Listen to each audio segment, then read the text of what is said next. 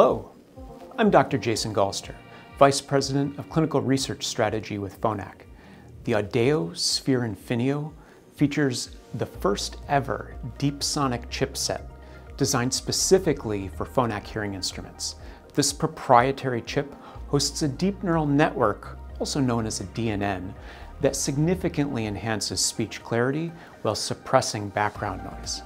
During the development of Infinio, we found opportunities to improve sound quality by learning from high-end headphone designs.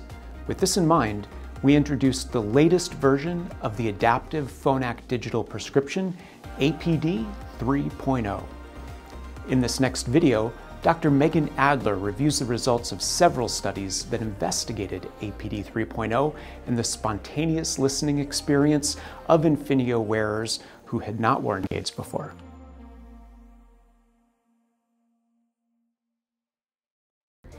APD 3.0 is the fitting formula in our new platform, Phonak Infinio.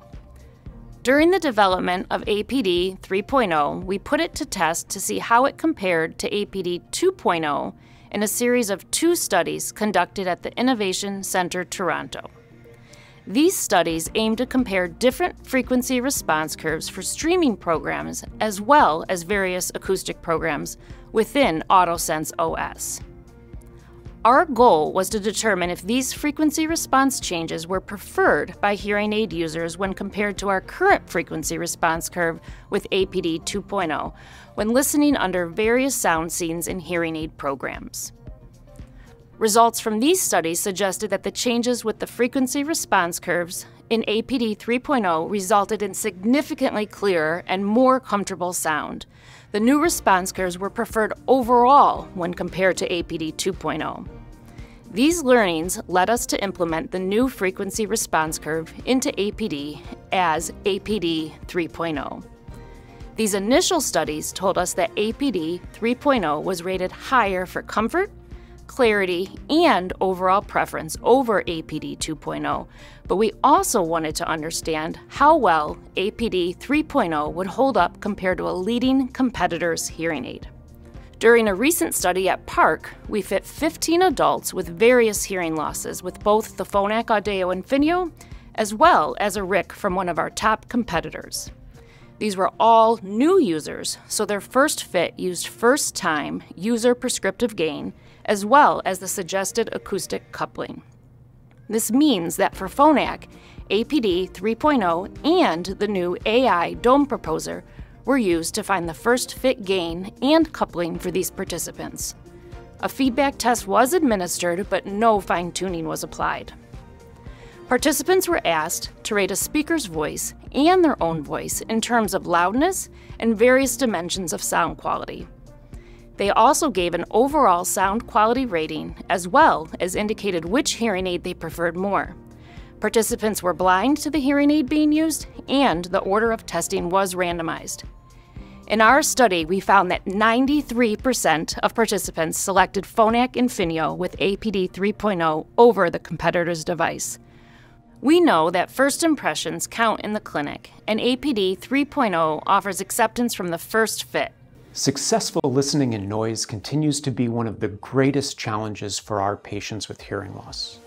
Audeo Infinio introduces a first-to-world system that is designed to enhance speech using a dedicated deep neural network. In this next video, Dr. Ashley Wright explains the results of a clinical study that investigated listeners' abilities to understand speech and noise that was presented from multiple locations around the listener.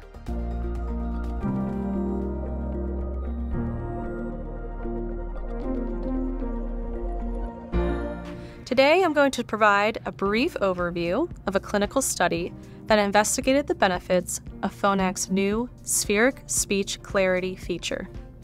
Before we jump into the study details, let's review what spheric speech clarity is and how it works. Spheric speech clarity is the name of our deep neural network signal processing, powered by our Deep Sonic AI chip which can support 7,700 million operations per second, making it faster and more powerful than any other chip on the market. Phonak developed spheric speech clarity to address the communication difficulties our end users face in noise. We hoped that our powerful Deep Sonic chip would provide unparalleled signal to noise ratio benefit, resulting in improved speech understanding and reduced listening effort with superior sound quality. And that's exactly what we found. PARC recruited 27 adults with hearing aid experience and moderate to moderately severe hearing loss. To measure speech understanding, we presented diffuse noise and a circular array with speech from four possible locations.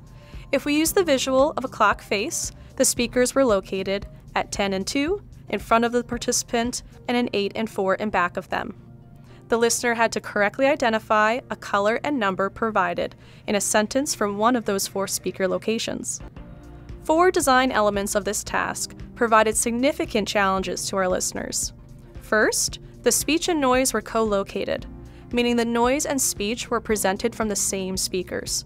Secondly, the signal to noise ratio for the scene was negative 3 decibels, with noise at 72 decibels.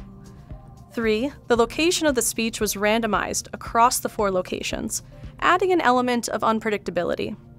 And lastly, there were two voices used for the speech, which also were randomized throughout the test to add even more unpredictability. Our listeners completed the test with and without spheric speech clarity, and we found that with spheric speech clarity, a listener is twice as likely to understand the sentence compared to without it. We also found that with spheric speech clarity, a listener is up to three times more likely to understand the sentence when compared to two leading competitors.